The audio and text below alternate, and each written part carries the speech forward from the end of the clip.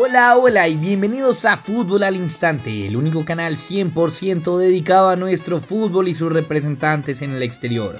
Hoy estamos muy contentos por traerles un nuevo video.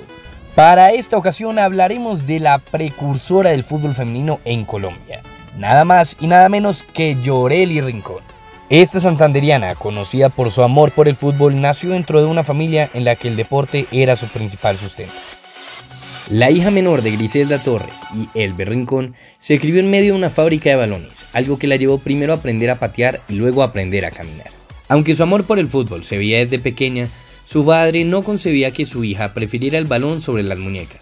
Sin embargo, Llorelli no iba a abandonar el fútbol por nada ni por nadie. Sin que su padre se diera cuenta, su hermano la ayudó a entrar al equipo del barrio La Argentina. Ella era la única niña dentro de un torneo de niñas, pero eso sí, era la más talentosa. Rápidamente, su talento sobresalió y fue Víctor González, hoy técnico del fútbol profesional colombiano, quien le daría su primera oportunidad. A donde fue, causó sensación. Con 14 años, fue convocada para jugar en la selección Colombia para el Sudamericano Femenino Sub-17, donde fue la gran figura. El 24 de julio de 2010, tres días antes de que cumpliera los 17 años, Llorelli marcó el mejor gol del Mundial Sub-20 de Alemania.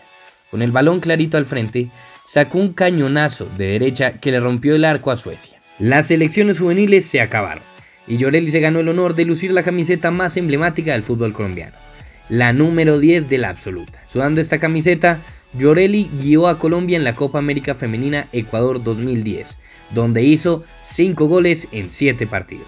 En 2012 se transformó en la primera jugadora colombiana profesional de fútbol. El traspaso de Llorelli al club brasilero 15 de Piracicaba marcó un antes y un después para el fútbol femenino en Colombia.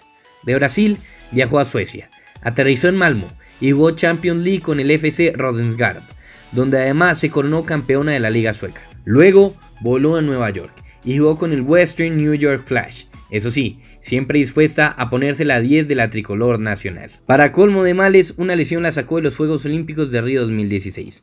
Llorelli se recuperó y volvió al fútbol colombiano. Se inició un proyecto de la Liga Femenina en Colombia.